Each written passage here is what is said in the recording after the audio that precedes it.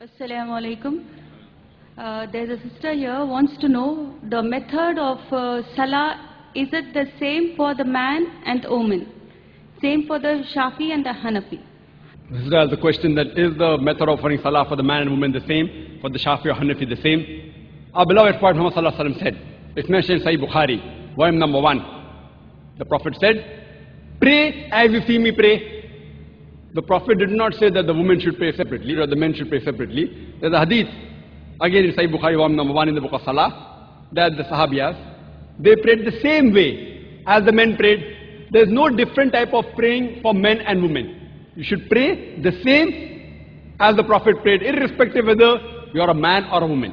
I am aware that there are books available in the market, in India and throughout the world, of different schools of thought, that the style of praying for women is different because they are seen and the men is different. There is no such Sahih Hadith. For reply in Islam, always, your answer should be backed up with Quran and Sahih Hadith.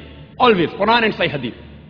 So whenever you give reference, any scholar, let it be the biggest scholar in the world. If he gives the answer, there should be proof, quotation from the Quran and Hadith. Ask him for proof. Produce your proof in Kuntum Sadiqin. There is not a single Sahih Hadith. There is no verse in the Quran which says that the style for offering Salah is different for the men and women. I am aware that scholars of their own view, they said, okay, fine, because women should be protected, they should pray differently. These are their thinking. But the Prophet never said that. We should pray as the Prophet prayed. Regarding the style for offering salah, as the Hanafi style and the Shafi style, I'm aware that it does differ. The Hanafis, they keep their hand below the navel. The Shafis keep their hand on the chest. They do takbir. They say Ameen loudly. Again, my first answer. On Sahih Bukhari, the Prophet said, in volume number one in the book of Salah, pray as you see me pray. And all the four Aimmas, Imam Shafi, Imam Ahmad ibn Hanbal, Imam Abu Hanifa, Imam Malik, all the great four Aimmas said that if you find any of my fatwa which goes against Allah and His Rasul, throw my fatwa on the wall. I am aware Abu Hanifa, may Allah be pleased with him. He was a great scholar, I respect him, I love him.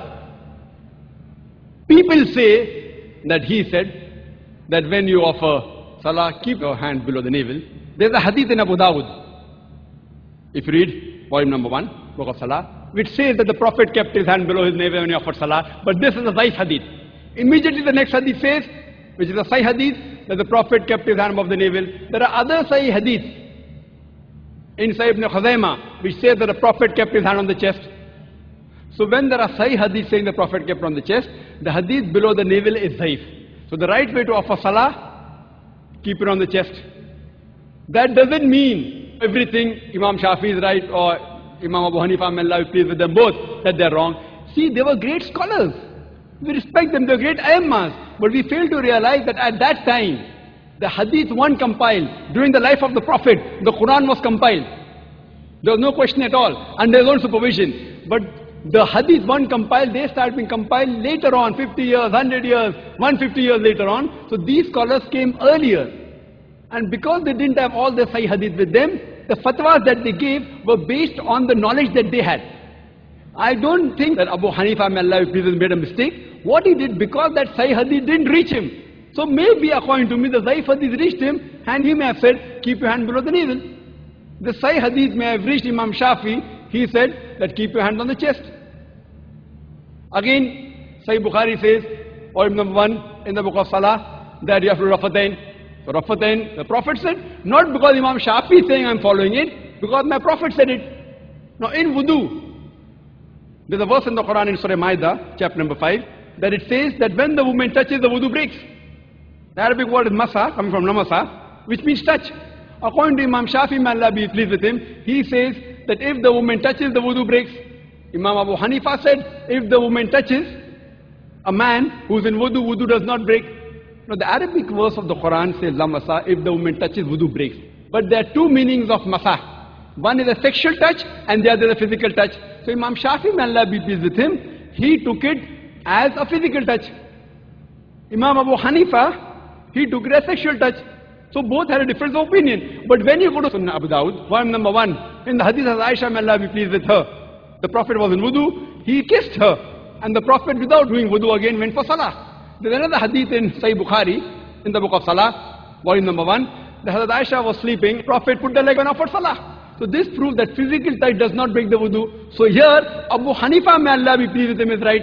And Imam Shafi, not that he made a mistake willfully, that hadith didn't reach him. So all were great scholars.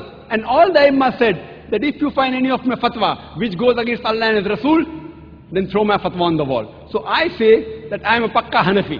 I, Dr. Zakir a Pakka Hanafi. Why?